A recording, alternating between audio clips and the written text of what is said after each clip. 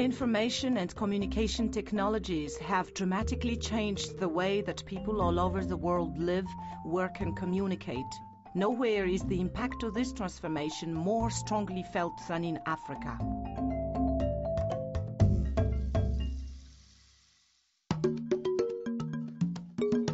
Despite the impact of ICTs in the region, connectivity remains prohibitively costly in Eastern and Southern Africa because this is the only part of the continent that is not connected to the global broadband infrastructure. The region currently accounts for only 0.07% of international bandwidth capacity because it relies on expensive satellite infrastructure with bandwidth prices 20 to 40 times higher than those in the United States. As a result, the region is ill placed to compete in the global economy. Currently, if you need one meg, you pay $7,500. Uh, compare that to the world average of $200. Uh, it is just impossible. For us to put 25 agents on the on the phone, it will cost us close to $17,000 a month to do that. Right? For those same 25 agents in a lot of these other countries where this big client is doing business, that will cost them about six to 900, depending on the country, maybe even $1,000 a month.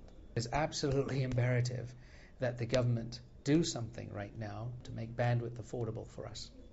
If we don't get this business now, we're going to miss a huge opportunity and it's going to go right by us at KenCall, but more importantly, right by us in Kenya. And people are going to say, you know what?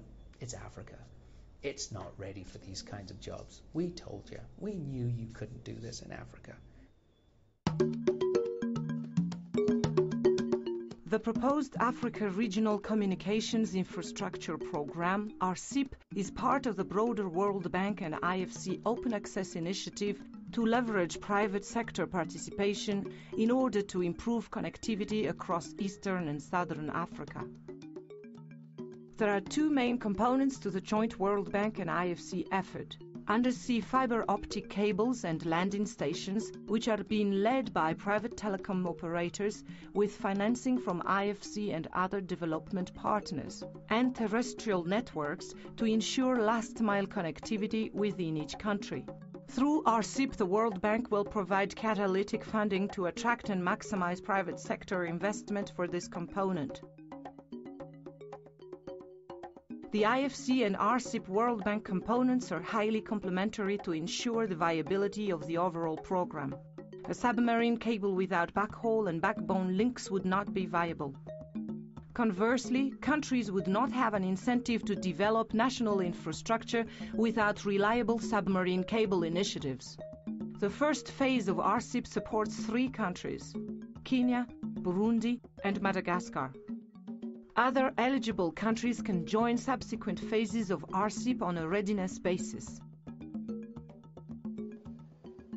In addition to directly supporting the construction of physical infrastructure, RCIP will invest in capacity purchase for target user groups such as governments and universities.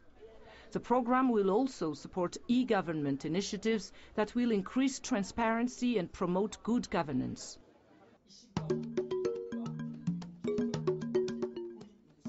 Avec la, de, de, de, la fibre optique, ce serait une révolution, bien entendu. Ça serait très facilité et nous pourrions, pourquoi pas, rêver d'avoir une dizaine de pays qui émettraient en même temps, qui diffuseraient un même programme en même temps par le biais de l'Internet. Les universités malgaches pourraient également, si ces, coûts diminuaient, faire des propositions de, formation à distance. Donc il y aurait un rééquilibrage. On n'aurait plus la logique de formation du nord vers le sud, on pourrait avoir des formations du sud vers le nord. RCIP has generated strong support from government leaders who have great visions of what this will mean for their respective nations. Euh, après le projet, dans quatre ans, ce que je, moi j'ai comme vision, c'est qu'au niveau de toutes les universités, ils soient connectés. Qu'au niveau de l'administration, on n'utilise plus de papier.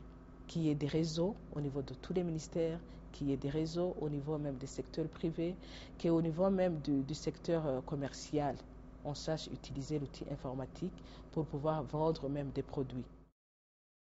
Ce projet avec la Banque mondiale va compléter euh, la totalité du backbone national. Ça veut dire que les grands axes et les grandes villes de Madagascar seront desservis à haut débit. In the next five years, uh, the whole infrastructure will be done, and we would also have covered the whole, the entire rural Kenya.